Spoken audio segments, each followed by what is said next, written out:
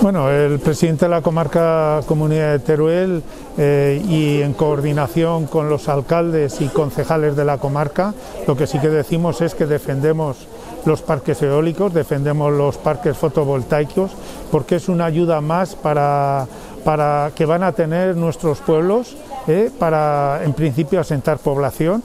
Es unos aportes económicos que les van a llegar a nuestros pueblos, los alcaldes lo defienden en la comarca y yo como presidente defiendo también que se instalen parques, parques eólicos y parques fotovoltaicos.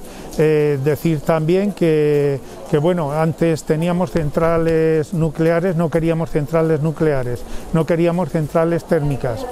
Ahora tenemos las centrales eólicas ¿eh? con energías limpias, tampoco queremos energías limpias por algunos sectores de la sociedad. Yo creo que no se puede ir en contra del sistema por ir.